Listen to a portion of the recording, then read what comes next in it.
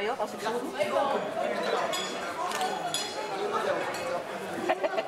Dat is heel grappig.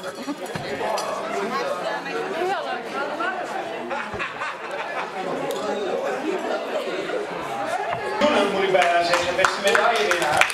Er, er is eigenlijk maar één groep die vanavond tegen een applaus moet hebben. Dat zijn jullie zelf natuurlijk, hè? want jullie hebben de afgelopen ja, jullie mogen echt heel erg trots zijn op jezelf. Dat hebben jullie echt knap, knap gedaan. We zitten hier vanavond met de Almeloze equipe, de Almeloze ploeg, eh, die eh, heeft meegedaan aan de Special Olympics. En ik ben ontzettend trots op dat jullie allemaal hier vanavond toe zijn gekomen. Jullie moeten wel ontzettende nekpijn hebben van al die medailles die jullie je uh, Het spaar een beetje het boegbeeld eh, van het reclameplaatje eigenlijk van die Special Olympics. En dat hebben jullie voortreffelijk gedaan, zeg ik er meteen bij. Daar zijn we heel blij. Hoe is het om als burgemeester van Almelo zoveel Olympiërs om u heen te hebben? Uh, voor de hand liggend is om te zeggen dat ik heel trots ben. Maar ik zeg er ook bij dat ik ontroerd ben door de overgave, door de liefde, door de, de warmte waarmee deze deelnemers aan de Special Olympics uh, gepresteerd hebben. Op al die takken van sport. ik heb zelden zo'n geweldig gezelschap van sporters bij elkaar gezien. Ik ben bij turnen en badminton geweest gisteren. Ik heb op afstand even gekeken wat er uh, bij het ravijn gebeurde. Ik heb me laten over laten informeren.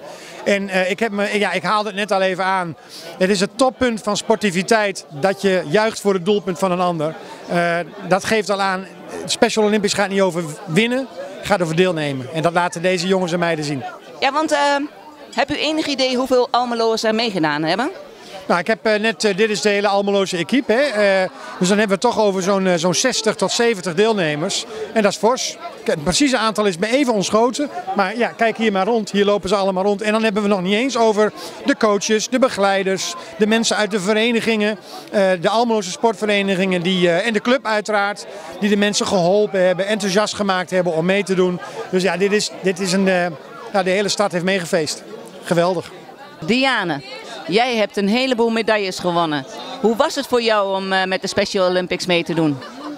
Nou, dat was ook wel heel leuk eigenlijk. Het was wel gezellig zo met elkaar, alles met elkaar weer. Een leuke feestavond gehad. Alles met elkaar gezellig. En jij deed mee met zwemmen, hè? En wat heb je allemaal gezwommen? Ik heb de 50 scho schoolslag, 50 vrije en uh, estafette, 25 meter. Dat was een heleboel, hè? Ja. En was je moe na de tijd? Ja, best wel, moet ik eerlijk zeggen. Ik was al moe. ja. Maar als je dan de medaille krijgt, is het wel weer heel leuk, hè? Ja, toch wel één gekregen. Nou, dit is wel leuk. Ja. Maar wat was er met het bolen gebeurd? Wat was er met je hand gebeurd toen je, want jij hebt aan bolen meegedaan. Wat was er toen gebeurd? Nou, op het moment dat ik die bal pakte, dan kwam een andere bal aanrollen. kreeg ik net de, de, de dum ertussen. Oeh, en toen deed hij heel zeer, hè? En dat deed, deed verschrikkelijk pijn. Want ik had, uh, nou verder hoef ik andere, de, de andere hoef ik niet te zeggen. Maar uh, ja, ik, heb, uh, ik voelde dat eens pijn. Ik denk, ik moet er even mee stoppen. Toen heb ik gezegd, van, ik stop ermee. Maar dat wordt niet wat. En dan heb ik gehoord dat ze jouw punten bij elkaar opgeteld hebben van de dag ervoor. En dat je toch nog de allerbeste was. Klopt dat? Nou, zo zie ik dat niet de allerbeste. Ik zie dat wel zo van. Uh, je gaat heen ook, ook al om een gezelligheid. Winnen vind ik ook heel leuk. Maar, sorry, maar. Uh, ik had, dit, ik had dit, dit, totaal niet verwacht dat ik. Uh, toch nog heel veel punten had en toch een gouden medaille kreeg, of niet? Dat was wel heel bijzonder, hè? Ja, dat was iets speciaals. Ik had daar niet, uh, ik had niet gedacht dat ik zo ver zou komen. Vooral in de finale, finale niet. Ik was behoorlijk uh, zenuwachtig en gespannen. Maar dat is ook logisch.